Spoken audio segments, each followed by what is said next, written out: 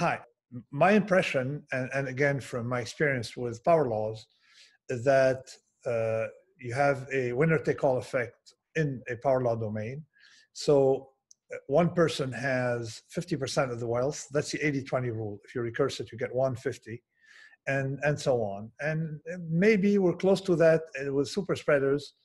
Uh, if you look at Barabasi's work, it's a power law. Without going into the details or try to calibrate, it seems that uh, the impact of super spreaders is in that category. In other words, uh, you just have to catch the super spreaders, and yeah, and you're pretty much uh, uh, safe. No, so uh, can you comment on that? Because I, we saw that paper that the UK geniuses were using.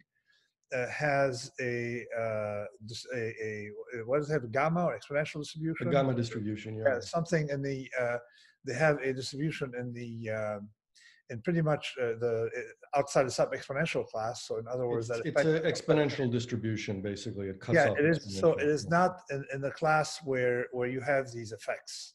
I mean, yeah. to simplify it to the general non-mathematical reader.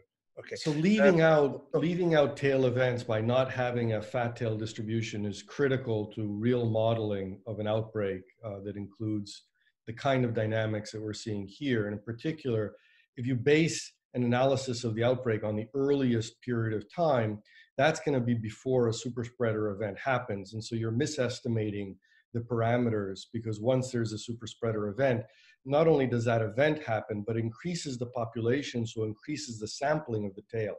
Okay, no, but there's so, another effect aside from the the modeling uh, uh, thing.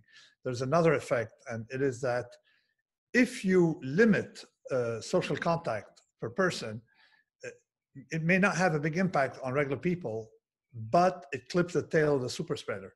Right. So, so it is, so, it is yeah, I agree. Policy. It's really important to cut the tail. The problem is that this virus spreads so rapidly that it's not just the tail that creates this uh, rapid growth. So cutting the tail helps, but it's not enough. And that's why you have to do a lockdown because just cutting off, you know, sort of large events and, and, and socialites is is not going to make enough of a difference in order to stop it. It would make enough of a have, difference to okay, slow it down. I, okay, I, I, I sort of disagree. I was saying that it's easier to just clip uh, the, the that distribute part of distribution, and and of course there's another fat tail in this, and the parameters, duration, and stuff like that. Right, but you have to clip the distribution at about two, yeah, three. But the effect you underestimate the impact. Impact can be huge. I mean, no, I'm not. I'm not saying that it can't be huge but it's you still have to cut it down below one. Yeah, of course, of course. And, now and, let me ask. That's you. just not going to happen, right? That's just not enough. So the point is that I, I definitely agree that cutting off the tail, but for this kind of uh, distribution, there's enough weight still in the one, two, three transmission uh, cases. Okay, well, short of time. So let's switch, hmm? let's switch to the second point. That yeah. what makes you so positive that we can pretty much clean up uh, the whole thing in two to four weeks. So, I mean, it, it's really very straightforward. If you really isolate everybody in their homes, then, and you wait two weeks, two weeks is the incubation time, then you know everyone that's sick, basically. And so, once you know everyone that's sick, you can isolate not only them, but their family members. But because their family members have been infected, it takes a little bit longer uh, in order to get the outbreak down to no cases because those people are infected. Uh, and there are also all kinds of random things. I mean, people, uh, you know, people at the early at least had to get necessities and so on. So it takes a little bit longer, but basically it takes a couple of weeks plus. So three, four weeks. Okay. And that's what right. happened so, in China, and that's what happened in South Korea. So you're optimistic. Basically, if you have a, a clear idea of, of what to do and about the, the real probability distribution of things, then you can you can definitely come up with uh, uh, good solutions.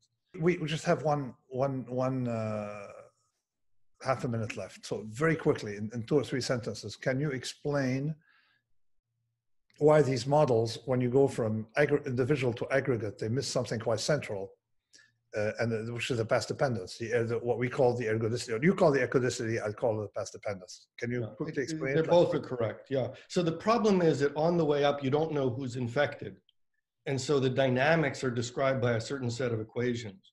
But on the way down, because you've isolated people, you know who's infected. So the same equations don't hold because you only have transmission within families. You don't have transmission to the public. And so, so the total framework of the equations has to change. Okay. That excellent. Okay, thanks a lot, Yaneer, and, and let's do it again. And as you see, this time I've interrupted you less than last time, so I, hopefully the the viewers will not be upset. Okay, thanks. Great. Let's see. Bye now. All right, And. I'll ask you next time. Thanks. All right. Ciao, ciao. Bye. Gotcha.